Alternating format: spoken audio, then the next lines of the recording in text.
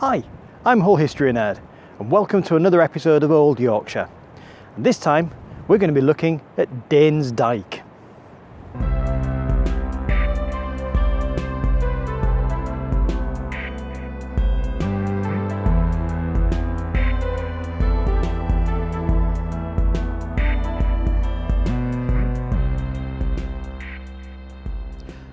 The chalk upland of Flamborough Head isn't just home to Flamborough Castle. It's also home to an earthwork ditch some two and a half miles long that's prehistoric in origin called Danes Dyke. And it spans right across the neck of the headland, cutting it off from the mainland. Now, don't let the name fool you, it's actually nothing to do with the Danish. The uh, name was given by historians and they didn't realise the deep history of the place. Archaeologists have in fact investigated Flamborough and the ditch itself and found evidence of civilization here as early as the Middle Bronze Age. Now just to give you some sort of perspective, that's 3,000 years ago. That's quite a way back. I wonder what they were like, these very early Yorkshire people. I wonder what they were like before the Anglo-Saxons and the Romans and the Celts and the Vikings. It would have been quite interesting. I bet they would have thought that this fantastic upland would have been like a fortress. So it's easy to see why they may have built a ditch and bank defence to protect themselves here. Danes Dyke is the kind of earthwork that's often referred to by archaeologists as a linear earthwork.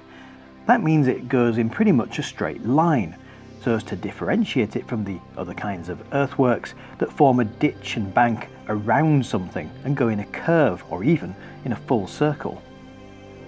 Some of these linear earthworks were often simply denoting the boundaries between different territories. Sometimes they were even just built to stop livestock from wandering off from one people's land into another people's land. But sometimes they were defensive and the sheer scale of Danes Dyke certainly lends weight to the idea that this may well have been one of those defensive boundaries.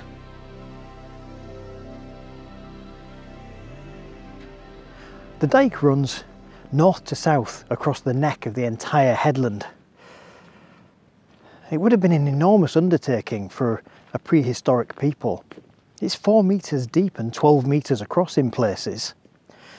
And this is the natural end at the south, perhaps the valley that leads down to the beach that would have inspired the original dike. But the whole thing is of this kind of proportion. This epic ditch that would have been excavated by labour and the soil piled up to form a huge bank.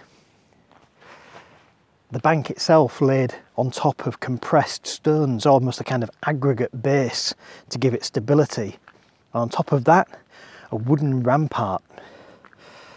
All of a sudden, when you see the scale of this, building a ditch and a bank for defence doesn't seem such a silly idea after all.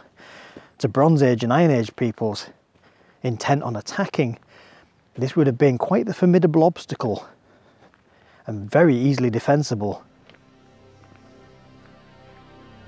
At the southernmost end of Danesdyke lays a small natural valley where the outlet from a spring drifts gently into the sea.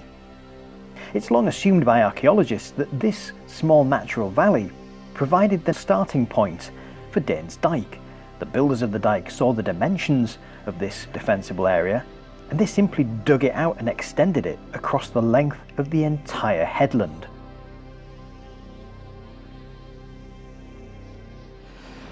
So here at the southern end of the dike we come to a natural entry onto a chalk beach which apparently is absolutely fantastic for fossil hunting.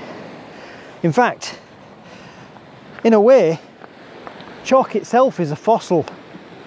If you want to get into some seriously deep history of this area, this whole beach this whole headland is built from the fossilized bodies of tiny microscopic creatures called Foraminifera, which existed sometime between 150 and 66 million years ago. And that's what chalk is. This used to be the seabed millions of years ago. And here it is, a headland above the sea.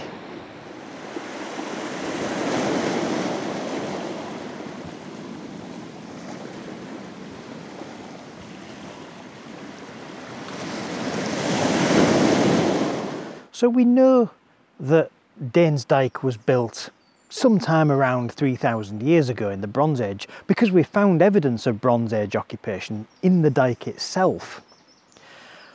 But the occupation of the headland goes back far further than that. There's some evidence to suggest that people were living here as long ago as 10,000 years ago, the Stone Age. Though that evidence is fragmentary and a bit scattered. But what we don't know much about are the original inhabitants of Danes Dyke, the people who built it. We don't know where they lived on the headland because we've never found their settlement. Now it could be, and this is a possibility, that actually nobody lived here, but that it was used as a kind of refuge for all the surrounding farmers for miles around. In the event of invasion, they would retreat to the headland behind Danes Dyke and fortify themselves until it was all over. But it's more likely that it was simply people who lived here, but we just haven't found their village yet. And that's not difficult. Archaeology, after all, relies upon tiny trenches dug here and there to try and find anything out at all. And Flamborough's headland is five square miles behind this dike. So it's perhaps not surprising that we don't actually know that much about where they lived specifically. What we do know is that the dike itself was added to and fortified during the Iron Age. There's been extra dikes built and extra uh, embankments built that all join up with Danes Dyke at various points along the headland. We know that perhaps even some of that work might have been down to the Vikings because even in the Dark Ages this would still have been a very, very valuable defensive place. But in 1066 the Normans came and they dragged Britain screaming into the Middle Ages. They brought with them the castle, the last word in military fortification. And with them, they also brought the means to destroy the castle, weaponry that would make short work of a wooden fence on a hill. So the age of Danes Dyke was at an end, as terms of it being a defensive place, but the earthworks persisted because they're huge and frankly, they're not going anywhere. Ditches and embankments of this size last for thousands and thousands of years.